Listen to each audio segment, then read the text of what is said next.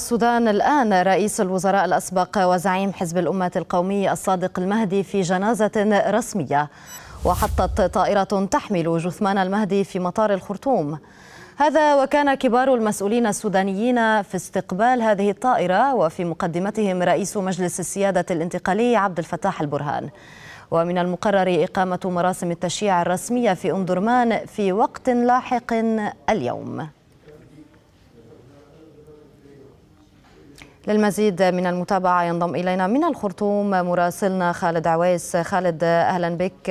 ماذا في تفاصيل هذا اليوم وفي هذه الجنازة الرسمية لزعيم حزب الأمة السوداني صادق المهدي؟ نعم الآن يصطف خلفي هنا في هذه الساحة ساحة مسجد الخليفة عبد الله في أم درمان. الآلاف للصلاة التي بدأت حالا صلاة الصلاة على الميت بدأت حالا على فقيد البلاد الكبير رئيس الوزراء السابق ورئيس حزب الأمة وزعيم كيان الأنصار الصادق المهدي. طبعا بدأت هذه المراسم في المطار بمراسم رسمية.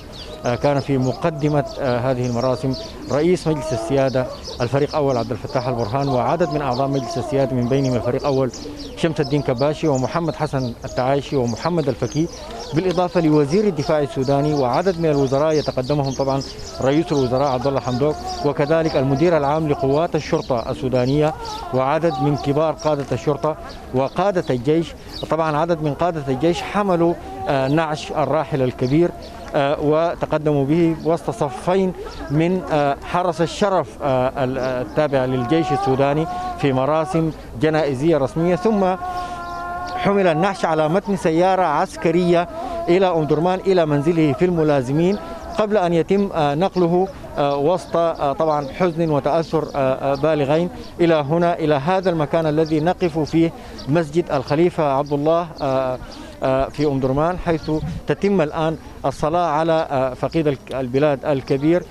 ستجري بعد قليل أيضا مراسم الدفن على يمين هنا في هذه المنطقة التي تضم مسجد الخليفة عبد الله وكذلك قبة الإمام المهدي جد الصادق المهدي الأكبر الذي يعني قاد الثورة المهدية وأسس كيان الأنصار الذي كان يتزعمه الصادق المهدي. طبعا بكل تأكيد هناك مشاعر حزن طاغية وكبيرة في السودان.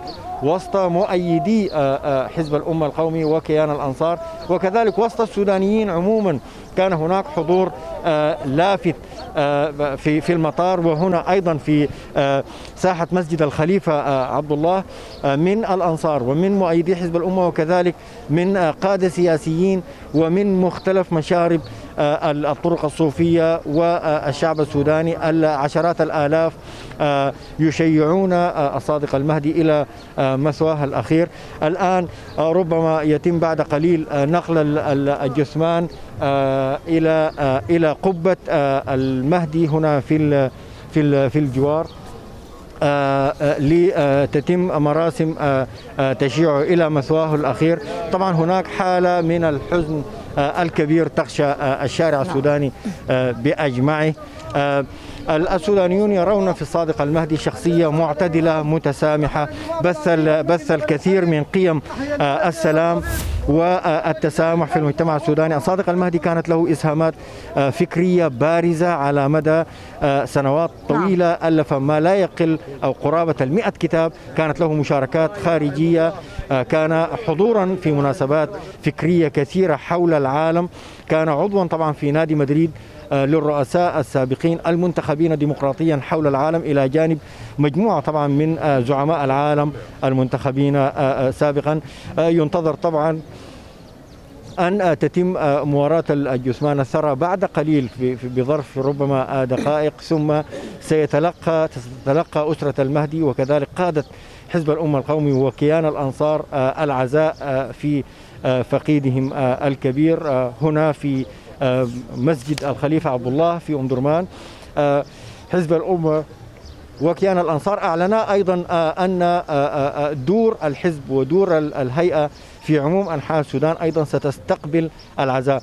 لابد أن أشير هنا إلى أن هناك إجراءات صحية وتدابير صحية اتخذت هنا من خلال أدوات التعقيم والرش وكذلك الالتزام بالكمامات. لكن طبعا التدافع كبير وهناك عشرات الآلاف كما تحدث الصورة الآن. ربما الصورة الآن تعكس جانب من عمليات الرش. طبعا هناك مخاوف كبيرة من تفشي وانتشار كورونا. لهذا هناك التزام كبير بهذه العمليات عمليات الرش والتعقيم.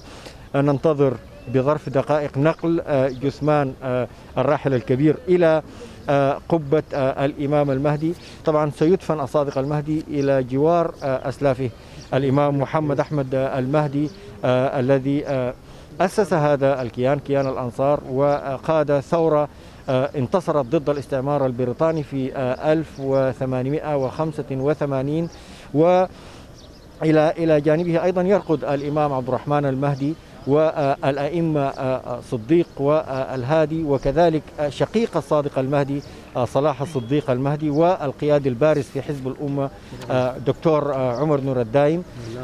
وطبعا هذه القبة أيضا قبة المهدي لها دلالة رمزية لدى السودانيين هي دلالة المقاومة ضد الاستعمار ودلالة الثورة ضده في القرن قبل السابق طبعا في نهايات 1885 انتصرت هذه الثورة على الاستعمار وتأسس كيان الأنصار وبعد ذلك كانت هي الجذور الأولى لحزب الأمة القومي الذي نشأ قبل قرابة الثمانين عاما من الآن وقاده عدد من الزعماء آخرهم كان الصادق المهدي. نعم.